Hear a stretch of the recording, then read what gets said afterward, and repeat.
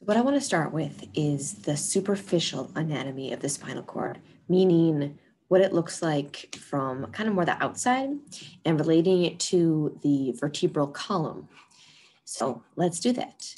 If you remember from learning the vertebral column in lab, we learned about the various vertebrae.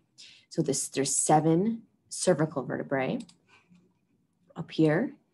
There are 12 thoracic vertebrae and five lumbar vertebrae.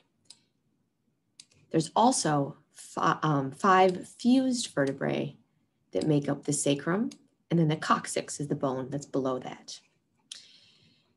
The spinal nerves arise from sections of the spinal cord that are embedded within the vertebral column. The vertebral column is what protects the spinal cord. So the spinal cord is going to run all along inside of this vertebral column. The bones protect it, the delicate nervous tissue. This is our spinal cord itself. We then have to have spinal nerves arise from it, carrying information both to and from the spinal cord. Spinal nerves are actually going to arise both from just above the first cervical vertebrae and then in between each one, just like that. So that's also shown over here. In between C1 and C7, you have eight spinal nerves.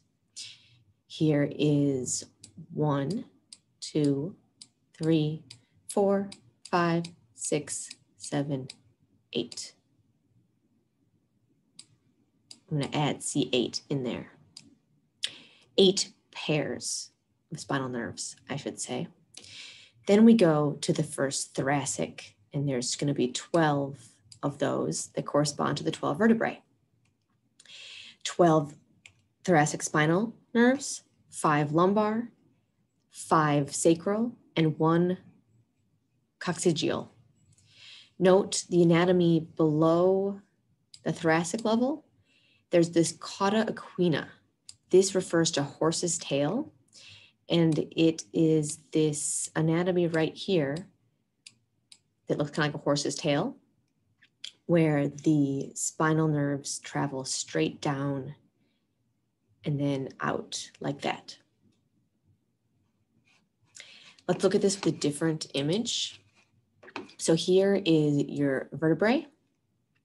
Where is the spinal cord on these images? Well, in this image, it's right here. Spinal cord is inside the vertebral foramen. You'll see me draw this butterfly shaped tissue um, when I get to the anatomy of the spinal cord. So that's where that is. Then on this image, it's going to be kind of right here. ignore my little blips there. And again, below each vertebrae, we're going to have a spinal nerve come out. Those spinal nerves are going to come out through these intervertebral foramen, those holes, kind of like this. I'm going to erase that one. So in each of those intervertebral foramen, a spinal nerve comes out.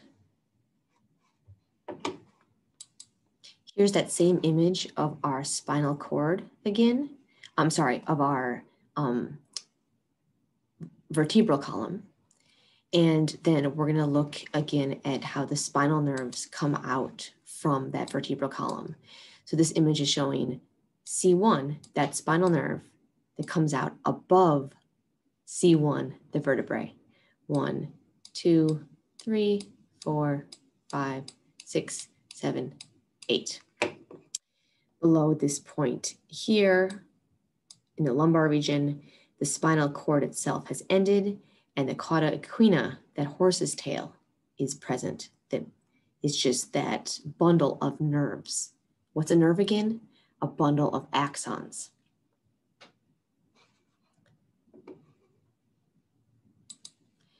One more image here. This is that same picture I showed in the first slide.